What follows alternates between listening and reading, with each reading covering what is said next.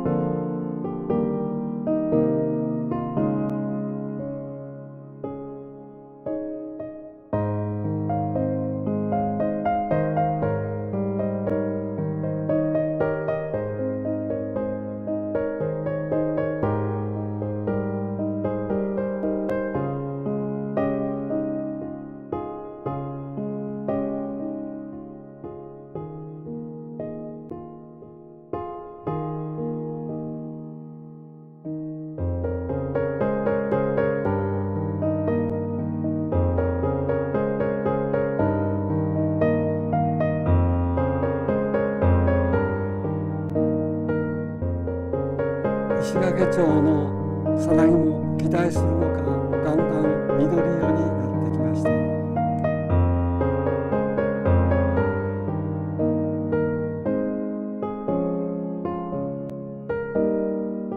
これが全陽からさなぎになった石垣町の姿です。